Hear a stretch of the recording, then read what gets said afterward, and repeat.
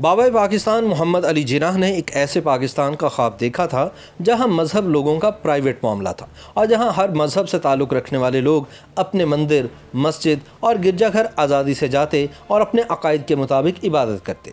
ताहम नए पाकिस्तान में हालात ये हैं कि मजहबी आज़ादी के साथ इबादत करना तो दूर की बात है। यहाँ विफाकी दारकूमत इस्लामाबाद में हिंदू अकलीत से ताल्लुक़ रखने वालों के लिए एक मंदिर बनाने की इजाज़त भी नहीं दी जा रही।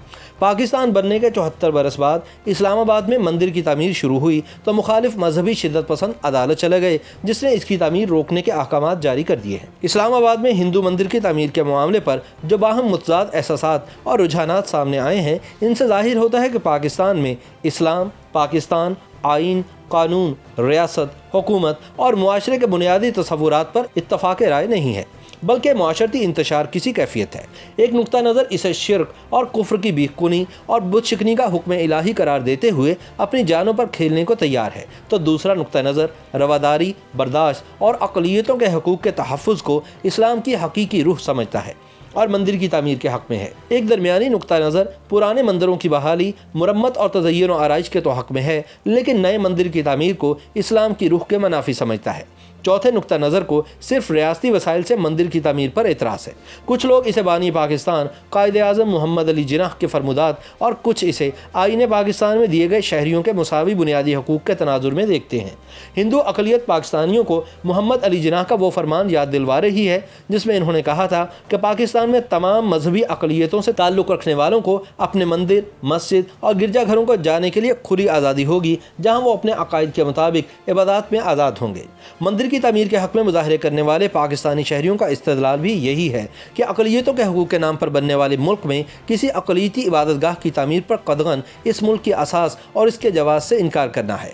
हकीकत यह है कि मजहबी अकायद और आइनी हकूक़ को गडमट करने से मामला सुलझते नहीं, बल्कि मज़ीद उलझ जाते हैं। जिस तरह अकीदा और इबादत लाजम मलजूम नहीं, इसी तरह इबादत और इबादत गाह भी लाजम मलजूम नहीं। अक्सरियती आबादी की कमजरफी हो ालिम हुक्मरानों का जबर हो, दहशतियों और तकफीरियों का खौफ हो, मार्शल लाओं का सन्नाटा हो, किसी मुकामी या आलमी वबा के हिफाजती जबते हों, या किसी बीमारी या जोफ़ की लाचारी। इबादत गाह तक रसाई ना होने से रब तक रसाई के रास्ते मसदूद नहीं होते। अकीदा कमज़ोर नहीं होता, बल्कि बेशतर सूरतों में मज़बूत होता है। इबादत एक फ़र्द का अपने रब से बराह रास्त रबता है। अपनी अली तरीन कैफियत में यह अलूही इंतजाब से फूटती सरमस्ती है, जिसमें किसी तीसरे और बिलाखिर किसी दूसरे की गुंजाइश नहीं रहती। चुनाचे पाकिस्तान में अकलीतों के लिए जिस तरह का माहौल पैदा किया जा रहा है, इसमें पाकिस्तान को अकलीतों का जहन्नुम कहने वालों को छुटलाना आसान नहीं।